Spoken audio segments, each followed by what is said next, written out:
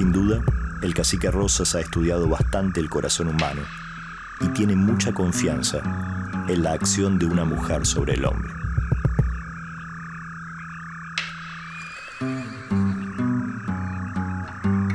Pasaré por alto una infinidad de detalles y te diré solamente que esta vez a Mariano Rosas se le quemaron los libros, ya que Carmen develó la desconfianza de su patrón.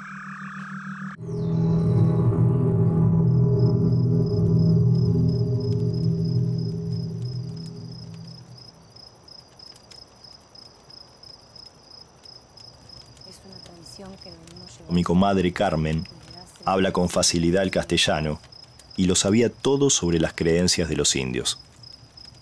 Desenterrar un cadáver es muy malo. El alma abandona la carne después de la muerte y va a darle vida a otros cuerpos. Una sepultura es lo más sagrado. Los ranqueles entierran a su familia con el mejor caballo y las prendas de plata más valiosas que tienen. Alrededor de la sepultura le sacrifican caballos, vacas, yeguas, cabras y ovejas, según la riqueza.